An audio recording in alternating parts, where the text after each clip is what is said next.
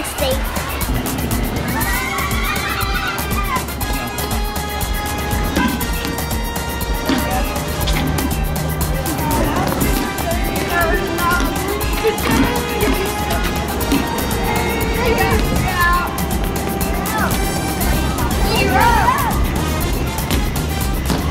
It's cheap. I just got you out.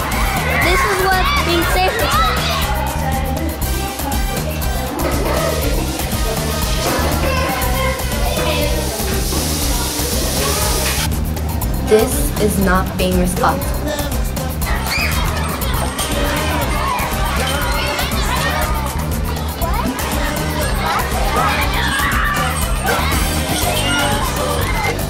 This is being responsible.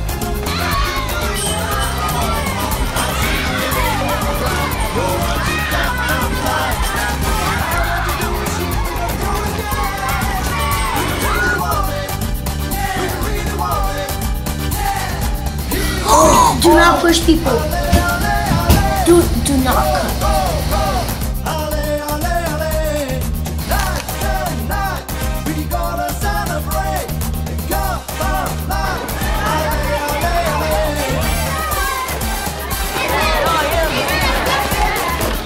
This is being clean.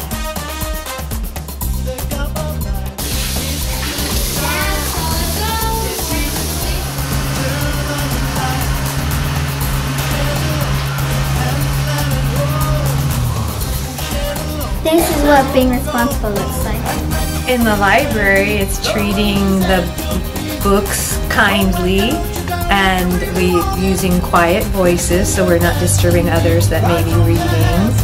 Um, I don't asking for help if you need it. like, you know, respectful listening and uh, participating and not turning around, you know, good behaviors. So, because we are always working as a team. This is what respectful looks like.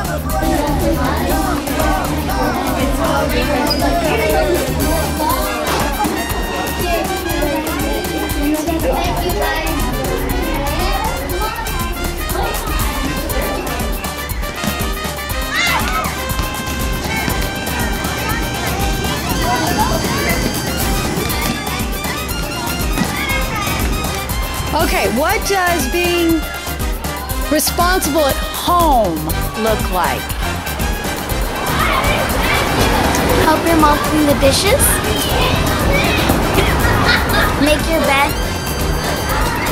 I think being responsible at home is doing your homework. Like, how are you respectful in your house? Uh, I, I help with my mom with the chores.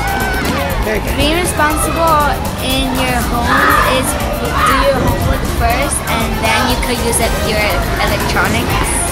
I think your teachers would like that, huh? Uh, being responsible at home is uh, clean up your bedroom when it's messy. Help your parents. We are champions! Champion teacher treats her students with respect, prepares the lesson, uh, differentiates based on their students' needs, and above all, cares for their students and their future.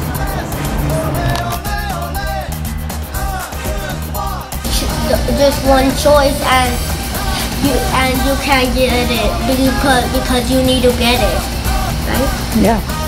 Yeah.